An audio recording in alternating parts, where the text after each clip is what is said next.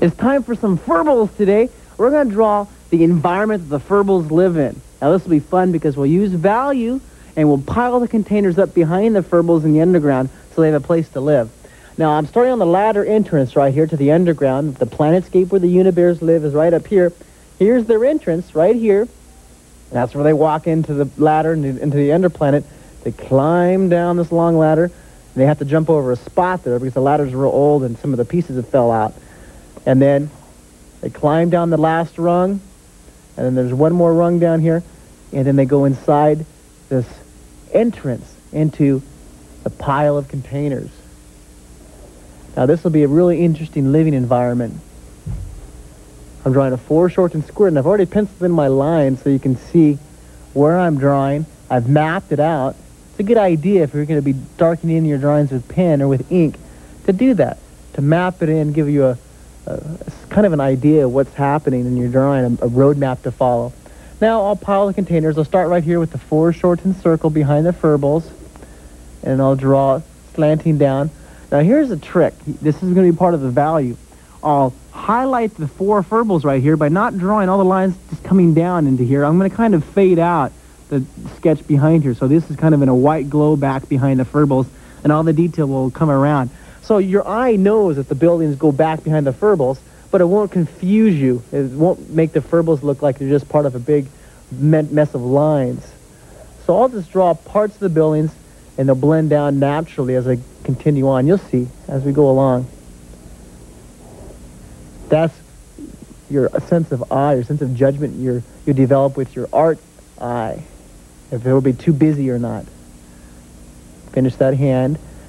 And I'm just throwing some boxes up here, tilting some to the right, some to the left, some slanting towards you like this box right here, some slanting away from you, some foreshortened circles, some foreshortened squares coming straight down. They're all connected together. Some foreshortened squares here. Now that I'm past the furballs, I'll go ahead and take these boxes all the way down to the ground right here. This box is slanting clear out here. Look at that.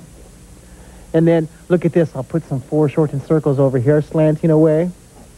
And some foreshortened circles or squares tilted away from you. And then look at this, a foreshortened circle tilting away from you. It's like a tube, the distance of the back part of a tube. This is so fun. Get to create some kind of space where all the furbles live. You know, these little boxes and containers that I'm turning into buildings are the inhabitants for the furbles. Now, other artists use different ideas and different forms to build structures. Now, let's see what this artist's idea of a structure is.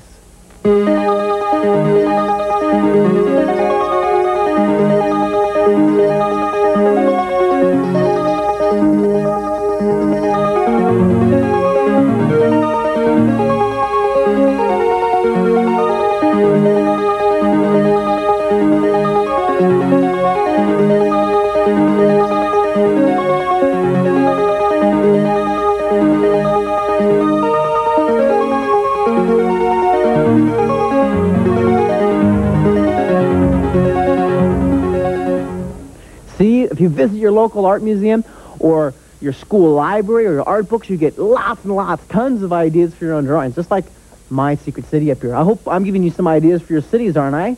Different shapes of trees and animals and buildings and whew, rocket ships. Now I'll add some more foreshortened circles up here.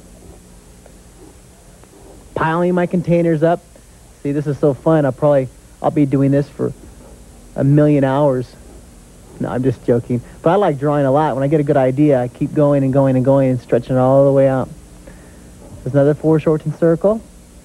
I hope you're practicing your drawing every day. If you draw every day, 20 or 30 minutes, you'll, you know, actually you'll probably end up drawing for more than 20 or 30 minutes because once you start drawing, you get into that drawing mood and you don't want to stop. Okay, now you know what I'll do is I'll use some balance here and draw some shapes coming off here. Just carefully balance on the side or the corner. I'll draw a foreshortened square here. It's balancing on the side. See how it's a pile of containers balancing? Hi, Cindy. You know, this is so much better than the other scarf you had. See, it's so much, has so much more punch to it, so much more pizzazz. They don't put these on their pets, do they? This is great. Is this for me? Will you make me one later on? Thanks, Cindy. Wait, you have to move it out of the way so I can shade a little better. You gonna watch me shade? I'm gonna add some value to my drawings right now. Take the pen. This is shading. And then I'll value in the right side. Look, I'll put a light tone of value on the right side. Shade the left side. Really dark. And then I'll add some value. See, it makes the box look a little more three-dimensional. Nice and dark.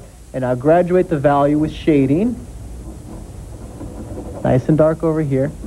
And use value. See, it sets the shapes apart from each other, helps the shapes look take form, make them look more three-dimensional. Well, oh, thank you. You you can't live in here, though, Cindy. You live in the Green Mountains. This is for the furballs. I bet they wouldn't mind if you visited, though, sometimes.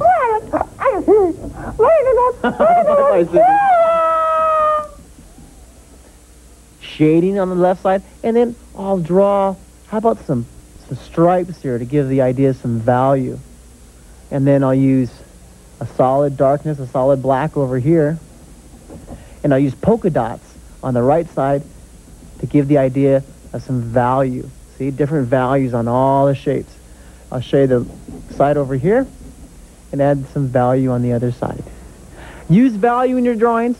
Draw, draw, draw. Stay in a super positive attitude, and I'll see you next time.